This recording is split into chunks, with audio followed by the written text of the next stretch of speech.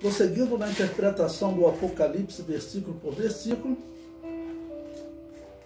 capítulo 19, versículo 20, o ponto 1 que diz a prisão da besta e do falso profeta. E a besta foi presa, e com ela o falso profeta que diante dela fizeram os sinais com que enganou os que receberam o sinal da besta e adoraram a sua imagem. Estes dois foram lançados vivos no ardente lago de fogo e enxofre. O comentário diz: O oitavo reino é chamado de besta e certamente é uma referência à união da besta que sobe do mar, da besta que sobe da terra e dos dez reinos que formará, é, que se formará na Europa. Ok? Eu falei para vocês até de uma possibilidade, né? O presidente da França, Emmanuel Macron, ele propôs uma união é, na, na Europa, já tem nove países e a Itália, a Itália ela já foi convidada e vai formar o décimo país. Então seria, seriam essas dez pontas, os dez reinos que reinariam junto com o anticristo, e, que é a besta, que começa com uma besta que sobe do mar, e o falso profeta, que é a besta que sobe da terra, é uma possibilidade. Então, a forma como está desenhado o mundo hoje é essa possibilidade e comento: esta besta final será também liderada pelo anticristo. Ou seja, o anticristo vai começar a liderar provavelmente um país eh, ou um bloco, e depois ele estará liderando os três blocos, tá bom? Que formado, formados dos Estados Unidos, de um lado, a Europa do outro, e os, os aliados da China, né? o comunismo do outro lado estão querendo colocar o Brasil nessa turma da China, né? Existe um projeto claro para fazer isso aqui no Brasil. O comentário prossegue. Ainda busca uma maneira de encaixar o islamismo nessa besta final. Né? Por quê? É, certamente o islamismo, principalmente a questão de Maomé ser, é, vamos dizer, uma, a figura central do islamismo, eu falei para vocês da possibilidade dele ser o falso profeta, né? O islamismo ser o falso profeta do Apocalipse, ok? Aí eu comento aí, mas a única referência ao islamismo está ligada ao local da partida do exército do anticristo, que é o mundo árabe. Veja, Apocalipse 9,14, a qual dizia o sexto anjo que tinha a trombeta: solta os quatro anjos que estão presos junto ao grande rio Eufrates. Então veja, primeiro tinham anjos né, é, presos junto ao, rio, ao grande rio Eufrates.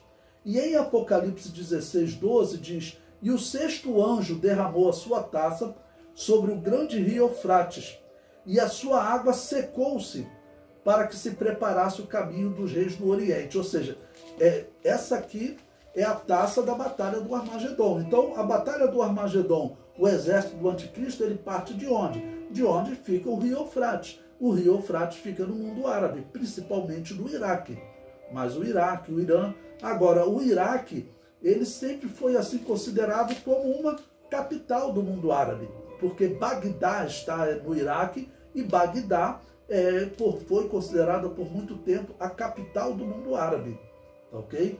Então existe sim a possibilidade do mundo árabe estar simbolizado então no falso profeta e nesse deserto, porque essa besta final e a Babilônia apocalíptica, elas a, a Babilônia apocalíptica aparece assentada sobre a besta e elas estão em um deserto. Bom, o que simboliza esse deserto? A região do mundo árabe, o islamismo, vive em países desérticos, ok? Então pode ser o islamismo. Falando em formas de possibilidade, porque não há como ter certeza né, dessa simbologia. Só quem ficar aí na grande tribulação que vai ter certeza. O comentário prossegue.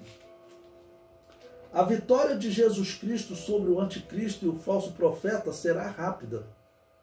O profeta Daniel e o apóstolo Paulo usaram expressões para descrever a rapidez dessa vitória. Tá bom? Paulo ele fala em assopro da boca de Jesus. É, segundo Tessalonicenses capítulo 2, versículo 8, está escrito: E então será revelado o iníquo, a quem o Senhor desfará pelo assopro da sua boca e aniquilará pelo esplendor da sua vinda. Ou seja, é, como que o anticristo será vencido, aqui disse o apóstolo Paulo? Pelo assopro da boca de Jesus. Ou seja, o anticristo, enquanto ele estiver lutando contra os homens, né, contra Israel e aqueles que defendem a doutrina verdadeira lá, enquanto ele estiver lutando contra a igreja hoje, o espírito do anticristo está lutando contra a igreja, né? É, então, nessa luta, ele tende a crescer o seu domínio, ou seja, cada dia terão menos pessoas acreditando no monoteísmo, cada dia terão menos pessoas acreditando que a igreja é a representante de Jesus aqui na terra e principalmente que seja uma boa representante por toda a história. A verdadeira igreja de Jesus nunca matou, tá ok? Mas o antigo espírito do anticristo está com essa mentira no mundo, dizendo que a igreja católica era a igreja de Jesus e que ela é, matava, que era o cristianismo matando. Nós sabemos que isso não é verdade, mas essa mentira do anticristo está crescendo no mundo. E aqui no Brasil também está crescendo. Por quê? Porque o ateísmo ele dominou, ele dominou a cultura do Brasil. A cultura do Brasil é, é uma cultura organizada por um ateu, né? por um comunista, tá bom? Paulo Freire. E nós sabemos que os professores, em geral, o testemunho que se ouve é os professores são ateus e fazem chacota com o cristianismo, contando a história da Igreja Católica e dizendo que é a igreja do cristianismo, é, que é o cristianismo, né? É, é uma mentira absurda, mas é, é o que eles descrevem. O comentário prossegue. Daniel diz que o anticristo sem mão será quebrado. Veja, Daniel 8, 25. E pelo seu entendimento, também fará prosperar o engano na sua mão, e no seu coração se engrandecerá, e por causa da tranquilidade destruirá muitos, e se levantará contra o príncipe dos príncipes, mas sem mão será quebrado. Ok? Ou seja, quando diz que ele se levantará contra o príncipe dos príncipes, é uma referência a Jesus. Ok? E, e esse texto aqui, ele é, é uma profecia especial de Daniel, e eu vou explicar o porquê que é uma profecia especial. Muitas vezes os profetas, como Isaías, Jeremias, Ezequiel, eles é, viram algo acontecer, por exemplo, viram um rei de Tiro que ele é, se considerava Deus, então a partir dele é, o profeta fala alguma coisa sobre o mundo espiritual, ou seja, a partir de algo que existe, ou a partir de algum acontecimento, a partir de algo que aconteceu eles comparam para falar do futuro, tá ok? Já Daniel ele é diferente. Ele pega o futuro para falar do futuro. O que, que é isso? Daniel viveu próximo do ano 600 da era cristã. Então ele profetizou eventos que iriam ainda acontecer no ano 200 da era cristã, que simbolizaria um futuro mais remoto. Ok? Porque próximo da, do ano 200 da era cristã, teve um homem que ele se levantou é, contra Israel, que foi um homem chamado Antíoco Epifânio. Então Daniel olhou para o futuro, viu esse evento e anunciou é, o evento final contra o príncipe dos príncipes. Por quê? Porque o anticristo sem mão será quebrado no futuro. Não pode considerar que aquele do passado foi o cumprimento dessa profecia. O comentário prossegue. No capítulo que retrata o milênio, Isaías diz que o ímpio será morto com o sopro do Messias. Veja, Isaías 11:4. Mas julgará com justiça os pobres e repreenderá com equidade os mansos da, os mansos da terra. E ferirá a terra com a vara de sua boca, e com o sopro dos seus lábios matará o ímpio. É claro que está falando aqui simbolicamente, né? de, vamos dizer, juízo contra, ok? Mas os ímpios mesmo, vamos dizer, que serão mortos é porque eles farão uma última guerra no final do milênio, ok? E aí eles serão vencidos, e aí, na verdade, toda a humanidade vai morrer, ou toda a humanidade será chamada a juízo, que é como eu gosto de descrever. Porque a morte para o homem é algo terrível, é o fim, mas para Deus a morte física é só um chamado ao juízo. O comentário prossegue. A batalha do Armagedon é o dia da ira, ou o dia do Senhor anunciado pelos profetas. Ele foi profetizado por Joel. Veja, Joel capítulo 2, versículos 1 e 2.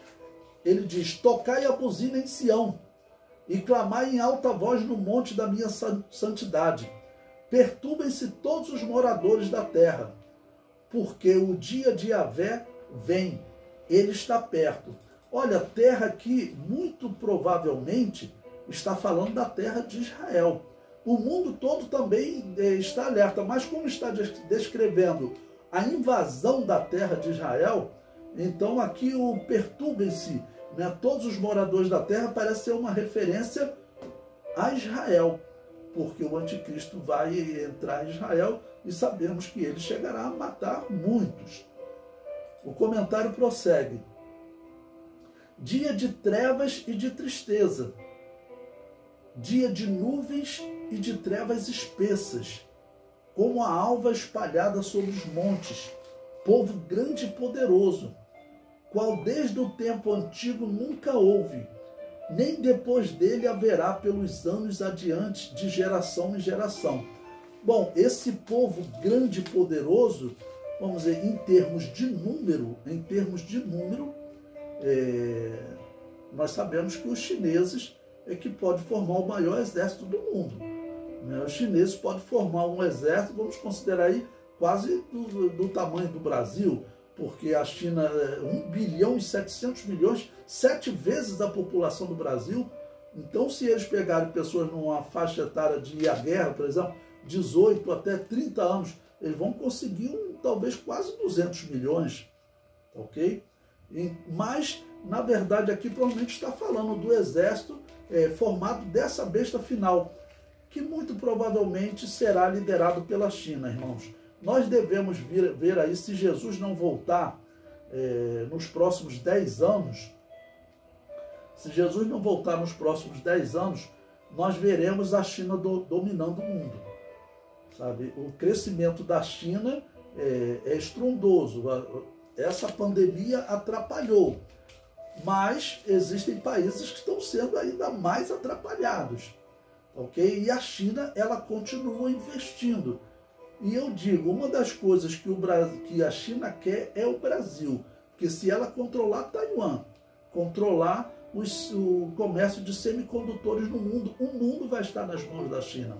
Tá ok? E se ela controlar né, o Brasil, que é o, chamar assim, é a capital do alimento, a capital da boa terra no mundo, a capital da água doce no mundo, se a China conseguir controlar aqui o Brasil, é, o poder da China vai crescer ainda mais. Então, como eu disse, se Jesus não voltar nos próximos 10 anos, é, nós vamos ver a China dominando o mundo, porque ela já dominou a África, a Europa está enfraquecida, corre risco de dominar a Europa, ok? E é, corre grande risco de dominar o Brasil. Né? Corre grande risco de dominar o Brasil se for eleito um presidente que seja simpático dos chineses. Né? Como nós sabemos que o Lula é, o PT é. E tudo indica que a China está colocando dinheiro, como colocou dinheiro nos parceiros do PT, a Rede Globo e a Bandeirante, principalmente a Rede Globo, porque essa emissora ela, ela domina a opinião. Apesar de muitos, eu mesmo parei de ver Rede Globo, mas ela ainda domina a opinião. Então nós estamos vendo a China é, perto de tomar o país e, e, o aliado dela, tanto em termos de partido como em termos de emissora de TV, está considerando tudo normal. Bom, o comentário prossegue. O profeta Sofonias descreveu o dia de Avé como um dia de sacrifício. Sofonias capítulo 1, versículos 7 e 8. Cala-te diante de Adonai Yahvé, porque o dia de Yahvé está perto. Porque Yahvé preparou o sacrifício e santificou os seus convidados. E acontecerá que no dia do sacrifício de Yahvé, hei de castigar os príncipes e os filhos do rei, e todos os que se vestem de vestidura estranha. Ou seja, está falando da batalha final e da salvação de Israel, então está falando da batalha do Armagedon. O comentário prossegue. Jesus descreveu esse dia com uma aparição do relâmpago. Em Lucas, que é aquele primeiro é, sermão profético mais curto que ele fez para um grupo de, é, de judeus que haviam indagado a ele, né? É, lá em Lucas capítulo 17.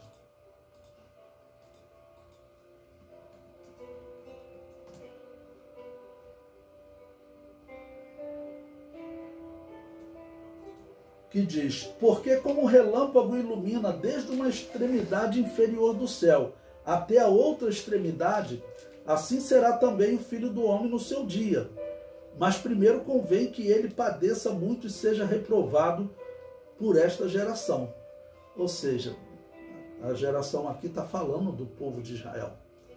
Ok? Claro, foram eles que rejeitaram Jesus. E aí vai seguir todo o processo.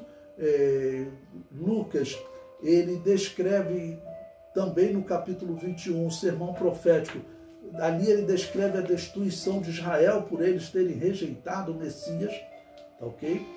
É, mas a descrição de Jesus, falando de uma aparição em que todo olho verá, ou como relâmpago, ou seja, algo que será visto por todos, então ele não virá mais como um homem humilde, ele virá como Deus Todo-Poderoso em glória.